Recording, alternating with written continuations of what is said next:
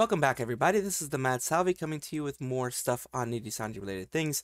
Today we're going to look a little bit more on the economic side and see is it even viable to become a member of Nijisanji or if it is even a good idea at this point just knowing the way that they have been. Let's take a look. First in line is a job posting that Nijisanji itself made for their next entertainment factory. I find that name kind of ironic right now that we know that they are pretty much mistreating a lot of their staff, a lot of their VTubers, in the sense that they aren't giving them the emotional support that they need, the support for even doing the regular stuff that they need, as we found out through Zaion LanZa and other people. This is for an overseas business translation part-time job. Recruitment information. This part-time job, wide scope including various translation work. They want you to know Korean and Chinese at this. It's requirements of Japanese English proficiency at a business level and above. Uh, they want, like I said, the welcome requirements are Korean and Chinese language skills, people with good communication skills, people who are good at managing their own translation tasks, which basically means that you're not going to have any management as well. So they're, they're, they're going with their theme that they've always been doing. People are particular about quality, such as being accurate in polite language and double checking both in Japanese and English. I guess Illyra isn't cutting it for them, uh, if we are to believe what the rats are saying. Illyra needs a little bit of help, I guess. Hourly wage, 11, 13 yen. Full amount paid separately for transportation expenses. Employment period updated every three months. Working hours 10 to 2100. That is that is a long time. That's 11 hours. That's 11 hours of work. For those who can work 5 or more hours a day, 20 more hours a week. So that is 11 hours of work for minimum wage. That for even someone that's doing part-time work, even for an intern, that is a lot and in many states over here in the United States, that is in fact illegal, as far as I know. It is preferable that you can come three or more days a week on, on weekdays. Negotiable, there's no work on Saturdays, Sundays, and holidays. Work location, Roppongi office, the head office, may switch to remote work. And what they want, they want students who are enrolled in a university, graduate school, vocational school, or technical college and are scheduled to graduate after March 2025.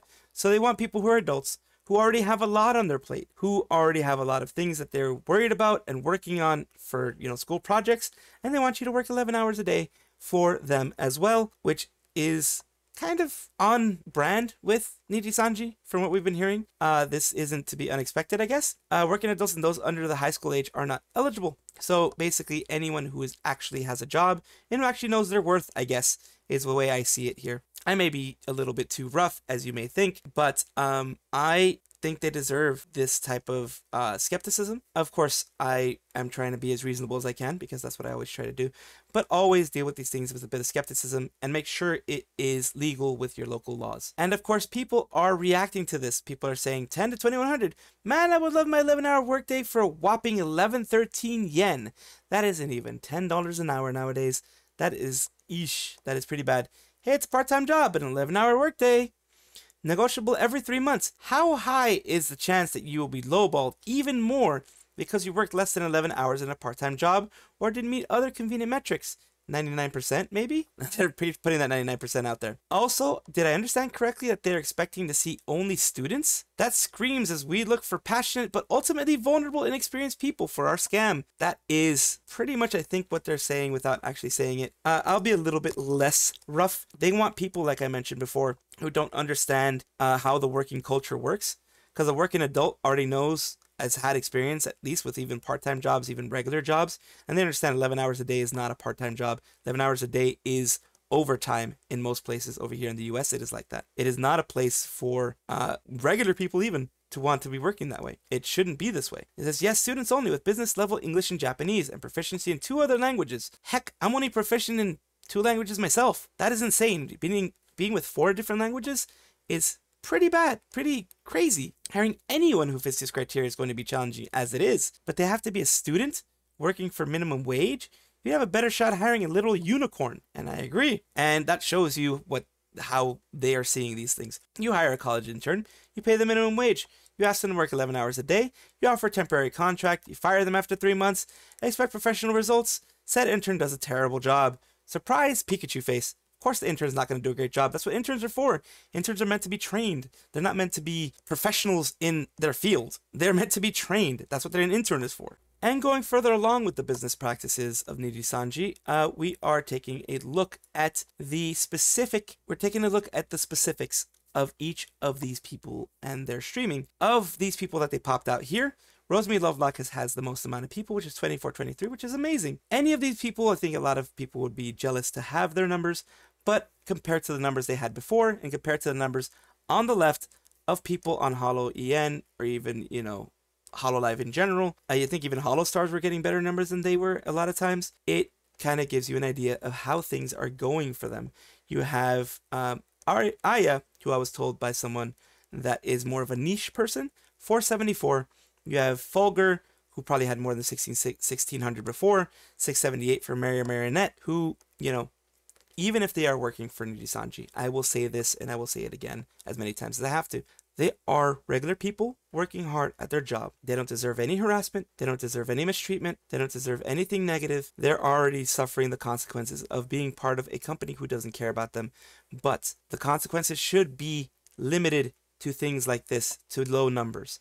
Should never actually go into personal lives and should never actually go into harassment of the liver. Just wanted to put that out there. And continuing with the statement that I made before, this is going more into the super chats that someone that some of these people had. We had Enna Alouette, who before had 2,500 in uh, 22024 and 1,500 below that for her birthday, 4,000 for the birthday concert, and 4,000 for uh, the birthday Zatsudan. And these are things that she received now and according to um, this is all before YouTube's cut, of course, and it's also before Nijisanji cuts and taxes, which I believe Enna at one point was complaining that this was like half of what she normally receives. And that's what happens when the company is going through a bad PR moment, going through bad times. Like I said, it's not necessarily directly tied to the liver themselves or a reflection on how hard their work, their work ethic. It is just you are now tied to a sinking boat. You are tied to a company who has low confidence who people have low confidence in, and there are going to be some consequences related to that. Those consequences will go to not only you, but other livers as well. In this case, Victoria, Victoria Brightshield, who only had uh, 11,000 views in the last seven days, and Kunai Nakasato, who also only had 3,800 views in the last uh, seven days. And you can see their numbers down below. Uh, compared to last year, you know, year on year, things are going down for them because people just don't have that confidence anymore. And I wish them the best. I truly do because, like I said, every VTuber, big and small, is working hard to entertain. These people are working under bad conditions as it is, and they're working under worse conditions right now because of the fact that people are going into their chats and saying mean things. I don't want anybody doing that from my community. I don't want anybody doing that from any other community. Let them have their streams in peace and let them have their moments where they are able to enjoy it with their community as long as they haven't been, you know, actually actively harassing someone else as well. You can call them out on it like I am, but just leave them in peace for the most part. Thank you. Of course, this was just my opinion. This was just what I thought about the situation. I hope you enjoyed watching. And also, let me know down below what you think about this. Let me know your opinions on the whole thing. Let me know if you think I was going too far, if I think I didn't go far enough, if you think I was being too nice to the uh, to the talents because I'm a VTuber myself, if you think I was giving them too much credit, let me know. That's what this is all about. That's what the community is all about. I want to hear your words and I want to hear your opinions on this whole thing. Comments are down below for that. Of course, also my socials are in the description. Discord is a wonderful place that I want you guys to feel welcome to join at any point in time if you want. It's a nice, comfortable place. We try to keep it free of drama. We have a section for it, but we try to keep it free of drama where you can just enjoy yourself and talk to other people who are like minded and who enjoy VTubing and enjoy other things. Finally, um, I will have a video up on the screen of any other video that I've done recently and something that will best fit you, of course. Enjoy yourselves, enjoy your days, your morning, evening, afternoon, whichever one it is in your area. And thank you so much for being a part of this community and for watching this, this content that I created. Thank you. Have a wonderful day. Bye bye.